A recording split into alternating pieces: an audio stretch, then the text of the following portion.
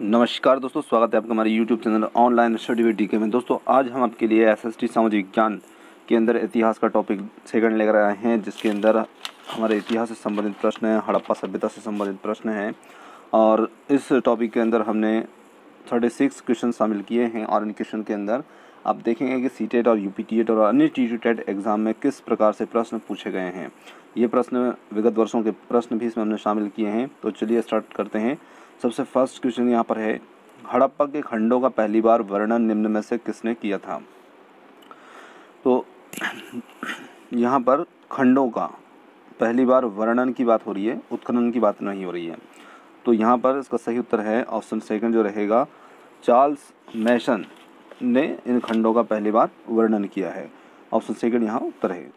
चलिए हड़प्पा सभ्यता की सबसे स्वीकृत समय अवधि निम्न में से कौन सी मानी गई है? तो देखिए, ये प्रश्न जो है थोड़ा कंफ्यूज करने वाला प्रश्न है, क्योंकि यहाँ पर दो अलग अलग तरह के मत देखने को मिलते हैं।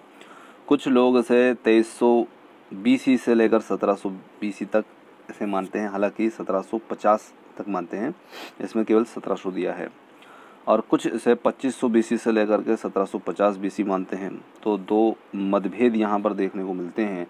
क्योंकि दोनों ही मैंने थोड़ा सर्च किया था तो दोनों में ही मुझे कार्बन डेटिंग के आधार पर ये उत्तर मिला है। अब थोड़ी सी समस्या यहाँ पर बनती है कि किसको सही माने। तो मुझे ज़्यादातर उत्तर जो मिला है, मैं इसे यहाँ पर टिक कर रहा हूँ। आप अपने स्तर से भी, आपको यदि गलत लगता है तो आप ऑप्शन सेकेंड को भी सही मान सकते हैं, क्योंकि उसमें एक्यूरेट नहीं दे रखा है सत्रह सौ पचास, इसलिए मैं सत्रह सौ पचास वाले फोर्थ ऑप्शन को यहाँ टिक कर रहा हूँ। देखिए तो ये 2500 बीसी से 1750 बीसी सबसे स्वीकृत समय अवधि मानी गई है कार्बन डेटिंग के आधार पर। चलिए, अगला है। हड़प्पा सभ्यता का क्षेत्र बहुत विस्तृत था और यह उत्तर में निम्न में से कहाँ तक फैला हुआ था? तो ये फैला हुआ था ऑप्शन थर्ड जो है मांडा तक ये फैला हुआ था। चलिए, अगला है। हड़प्पा सभ्यता की अर्थव्यवस्था आधारित थी। तो हड़प्पा सभ्यता की अर्थव्यवस्था मुख्य रूप से किस पर आधारित थी? व्यापार पर या कृषि पर तो ये उपरोक्त दोनों पर ही आधारित थी। निम्न में से किस धातु का उपयोग हड़प्पा सभ्यता में नहीं होता था, यहाँ पर नहीं होता था, ये देखना है तो लोहा जो है, ये नहीं होता था, क्योंकि हड़प्पा सभ्यता के अंदर तांबा और कांसा के उपयोग के प्रमाण मिले हैं। चलिए, अगला है, हड़प्पाकालीन लोगों को धातु कर्म विज्ञान में दक्षता प्राप्त थी, इसकी पुष्टि किस तथ्य से होती है? तो इसकी पुष्टि होती है। देखिए, धातु कर्म विज्ञान में दक्षता, और दक्ष कौन हो सकता है जो उनका एक उचित तरीके से मिश्रण, उचित अनुपात में मिश्रण कर सके। तो यहाँ पर ऑप्शन थर्ड जो है, कांस्य उपकरणों के लिए ताम्र और टीन का उचित अनुपात में मिश्रण, इससे उनके धातु कर्म विज्ञान में दक्षता की पुष्टि होती है। चलिए, अगला देखते हैं। अगला है, निम्न कथनों पर विचार कीजिए। सामवेद के साथ जैमिनी, ब्राह्मण और तांड्य, ब्राह्मण संबंधित है, जिसे पंचविश ब्राह्मण भी कहा जाता था। अगला है, सभी ब्राह्मणों में सतपथ ब्राह्मण सर्वाधिक विशद और महत्वपूर्ण होते थे। यहाँ पर कौन सा कथन सत्य है? केवल एक, केवल दो, केवल तीस थर्ड जो है, एक और दो दोनों तो ऑप्शन थर्ड जो है, एक और दो दोनों यहाँ पर सही है। चलिए आगे बढ़ते हैं। निम्न कथनों पर विचार कीजिए। उपनिषदों को भारतीय प्राचीन दार्शनिक विचारकों का सबसे निम्न स्तरीय स्रोत माना जाता है। और सेकंड है, उपनिषदों से शंकराचार्य और रामानुज रामानुज के दार्शनिक सिद्धांत तो उपजे थे तो यहाँ पर कौन सा कथन सत्य है? तो यहाँ पर जो कथन सत्य है, वो केवल ऑप्शन सेकेंड जो रहेगा, केवल दो ही कथन यहाँ पर सत्य है। चलिए आगे बढ़ते हैं। ऋग्वैदिक समाज के संगठन के संदर्भ में निम्न में से कौन सा कथन सत्य है? तो फ़र्स्ट दिया है, ऋग्वैदिक समाज के संगठन का आधार गोत्र था। सेकेंड है, ऋग्वैदिक समाज पितृ सत्तात्मक था। थर्ड है, इस काल में संयुक्त परिवार प्रथा प्रचलित थी और फोर्थ है, उपरोक्त सभी। तो यहाँ पर इसका उत्तर रहेगा फोर्थ उपरोक्त फोर्थ सभी, इसका सही उत्तर है। चलिए आगे बढ़ते हैं।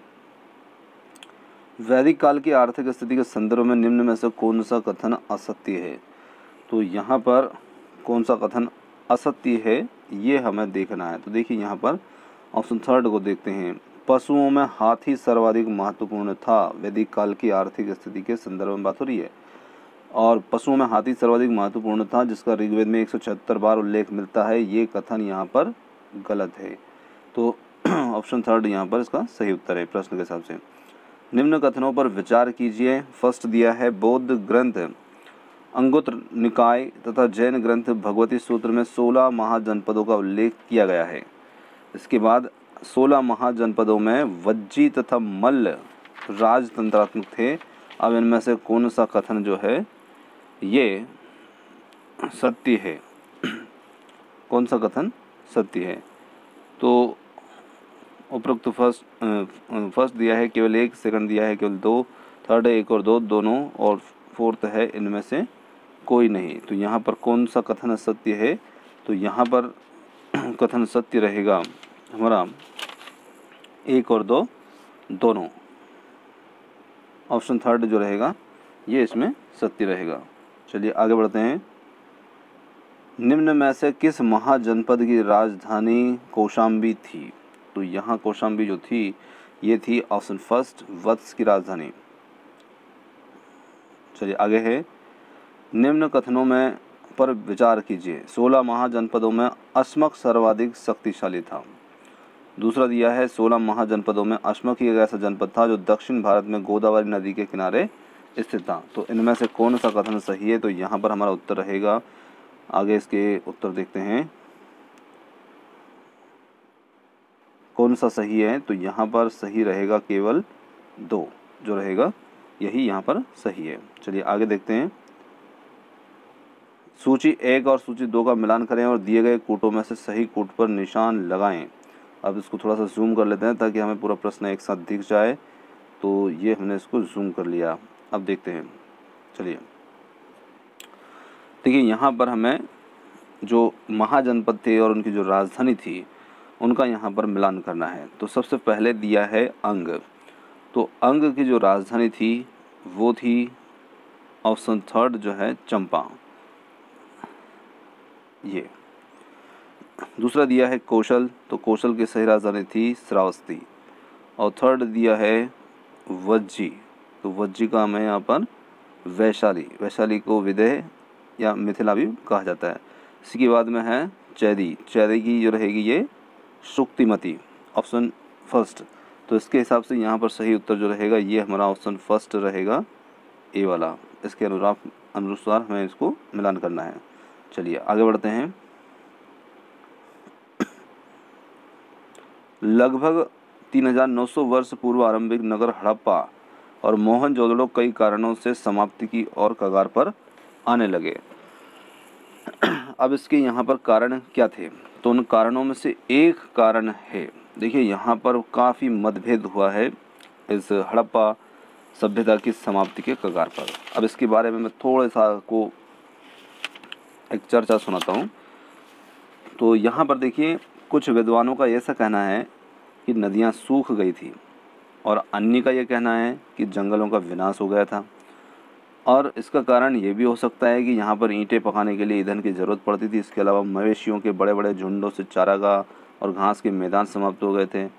कुछ इलाकों में बाढ़ आ गई थी, लेकिन इन कारणों से यह स्पष्ट नहीं हो पाता कि सभी नगरों का अंत कैसे हो गया? क्योंकि बाढ़ और नदियाँ सूखने के असर कुछ ही इलाकों में हुआ था। अब देखिए, ये यहाँ पर इसके बारे में थोड़ा सा डिटेल्स हमने देखा। अब यहाँ पर इसका सही उत्तर कौन सा माना जाए? तो कुछ विद्वान अलग बात करते हैं, कुछ जो है अलग बात करते हैं। तो यहाँ पर जो माना गया है, इसको, इसका सही उत्तर माना गया है, उसको हम देखते हैं। तो यहाँ पर इसका सही उत्तर माना गया है, जंगल के विनाश और बाढ़ के कारण। तो यहाँ पर ऑप्शन फ़र्स्ट जो है, इसे सही माना गया है। चलिए, आगे देखते हैं। ज़्यादातर महाजनपदों की मज़बूत किलेबंदी थी।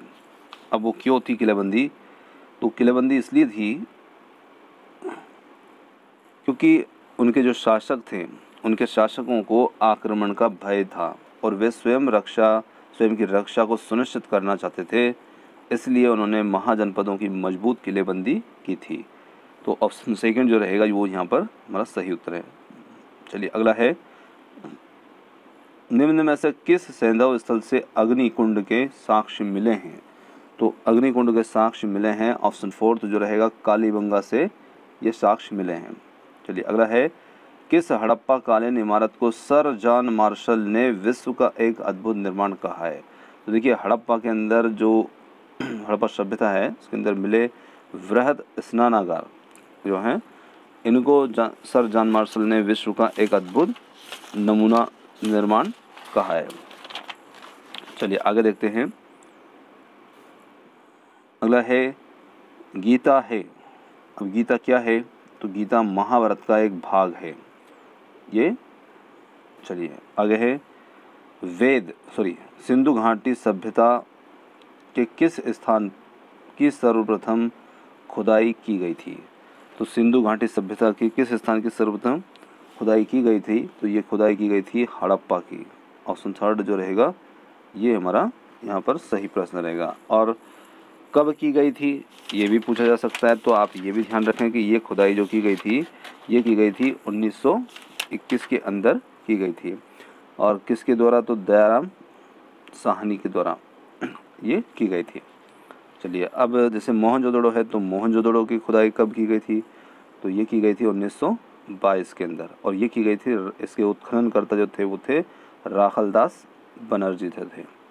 इसी प्रकार से कालीबंगा तो कालीबंगा की जो खुदाई की गई थी ये की गई थी 1935 में। और इसके उत्खननकर्ता जो थे वो अमलानंद घोष थे और बीबी लाल ये इनके साथी थे। इसी प्रकार से एक हमारा यहाँ पर बचता है लोथल। तो लोथल की उत्खनन वर्ष है इसका उन्नीस सौ बासठ और ये किया था रंगनाथ राव ने। तो चारों का आप ध्यान रखें तो किसी के भी बारे में ऐसा प्रश्न यहाँ पर पूछा जा सकता है। चलिए आगे बढ़ते हैं। हड़प्पा सभ्यता का संबंध किस विदेशी सभ्यता से था? तो इसका सही उत्तर है, ऑप्शन सेकंड, एजटेक इस सभ्यता से, विदेशी सभ्यता से इसका संबंध था। चलिए अगला है निम्न में से कौन सा वेद आंशिक रूप से गद्य में है? अब यहाँ पर बात देखें, थोड़ा सा ये कही गई है, आंशिक रूप से गद्य है। तो आंशिक रूप से गद्य जो है, वो है अथर्वेद ऑप्शन फोर्थ जो रहेगा, ये यहाँ पर इसका सही उत्तर है। चलिए, अगला है, निम्न में से किस भारतीय साहित्यिक धरोहर का अर्थ रिक्त स्थान गुरु के पास जाकर समीप बैठना है? तो ये किसका है? तो ये है ऑप्शन थर्ड उपनिषद, जो है, ये इसका सही उत्तर है। अगला हमारा प्रश्न है, किस काल में कर प्रथा का विशिष्ट महत्व था? तो कर प्रथा का महत्व किस काल में रहा है सब विशिष्ट रूप में? तो ये रहा था ऑप्शन फ़र्स्ट, जो है, महाजनपद में ये विशिष्ट इसका महत्व था। चलिए अगला है ऋग्वेद काल में कौन से तीन देवता विशेषकर प्रमुख थे? अब ऋग्वेद काल में कौन से देवताओं को महत्वपूर्ण स्थान दिया गया था तीन देवताओं को? तो वो दिया था ऑप्शन सेकेंड अग्नि, इंद्र और सोम को यहाँ पर महत्वपूर्ण स्थान दिया था। चलिए, अगला है, संस्कृत भाषा जिस परिवार का हिस्सा मानी जाती है, उसे कहते हैं। बहुत ही अच्छा प्रश्न है ये। और संस्कृत जिस भाषा परिवार का हिस्सा मानी जाती है, उसे कहते हैं तो इसे कहते हैं भारत, यूरोप। ये इसका ऑप्शन थर्ड जो है, ये इसका सही उत्तर है और इसे भारोपीय भी कहा जाता है।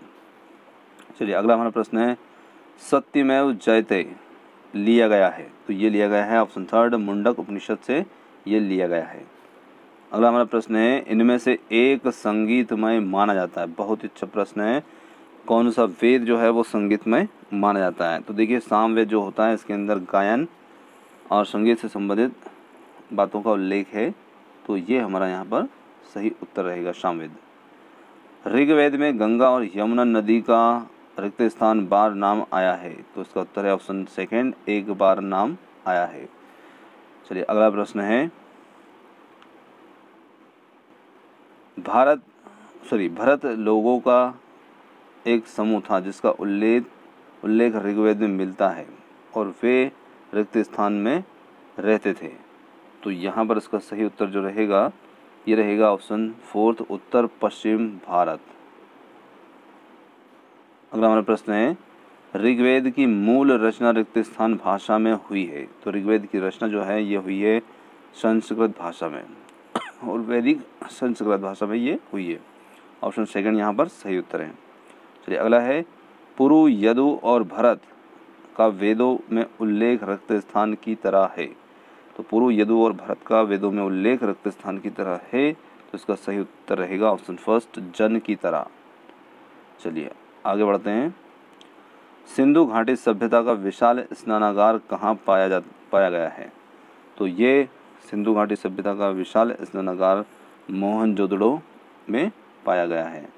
चलिए, आगे बढ़ते हैं। अगला हमारा प्रश्न है, हड़प्पा संस्कृति सिंधु घाटी सभ्यता के अभिलेख मुख्यतः किस वस्तु पर बने मिले हैं? तो ऑप्शन सेकंड जो रहेगा, मोहरों पर। अब यहाँ पर एक बात आती है कि जो मोहरें हुआ करती थी, वो भी वो पत्थरों की बनाते थे। तो ऑप्शन सेकंड यहाँ पर सही उत्तर है। अगला है, उत्तर वैदिक काल में आर्य संस्कृति का केंद्रीय स्थल था। तो ये इसका सही उत्तर यहाँ पर रहेगा ऑप्शन सेकंड, गंगा यमुना दोआब। अगला हमारा प्रश्न है, ऋग्वेद के विषय में निम्नलिखित तीन कथनों पर विचार कीजिए और सही उत्तर का चयन कीजिए। देखिए, यहाँ पर फ़र्स्ट दिया है, यह ऋग्वेद। लगभग 3500 वर्ष पूर्व लिखा गया था। देखिए, यहाँ पर फिक्स एक वर्ष बता दिए हैं 3500 वर्ष पूर्व। अगला है, इसकी रचना प्राकृत में की गई थी और इसमें एक हज़ार से अधिक प्रार्थनाएँ। देखिए, यहाँ पर लगभग भी मान लेते हैं इसको, क्योंकि इसके बारे में भी फिर यहाँ पर कन्फ्यूज़न पैदा करते हैं। जो इतिहासकार हैं, कुछ जो हैं वो पैंतीस बताते हैं, कुछ उसे अड़तीस बताते हैं। तो सबका अलग अलग समय है। कुछ जैसे तीन हज़ार आठ सौ पंद्रह वर्ष का पूर्व बताते हैं कि तब इसकी रचना हुई है। तो यहाँ पर इसे अनुमानित भी बोल देते तो हम लगभग मान लेते कि लगभग है ये इसके, परंतु इसे फिक्स लिखा है, इसलिए इसको सही यहाँ पर नहीं माना है। और यहाँ पर ऑप्शन थर्ड जो है केवल इसी को ही सही माना है। तो यहाँ पर इसका सही उत्तर जो रहेगा, ये ऑप्शन फोर्थ है, जिसमें तीसरा कथन सही है, एक और दो गलत माने हैं। और दूसरा तो ऑलरेडी गलत है ही सही, क्योंकि इसकी रचना जो थी वो संस्कृत में की गई थी। चलिए दोस्तों, ये थे हमारे आज के सामाजिक विज्ञान का पाठ, इतिहास का अध्याय दो इसके अंदर हमने आरंभिक नगर और हड़प्पा सभ्यता से संबंधित प्रश्न सीटेट और यूपी जेट में पूछे गए थे। उनको देखा। वीडियो कैसा लगा? आपको पसंद आया हो तो कमेंट्स करके ज़रूर बताइएगा ताकि हम इसके अगले पार्ट को बहुत जल्दी आपके सामने लेकर आए हैं। तो आप चैनल पर इतने समय तक बने रहें, उसके लिए बहुत बहुत धन्यवाद। थैंक यू सो मच मिलते हैं जल्दी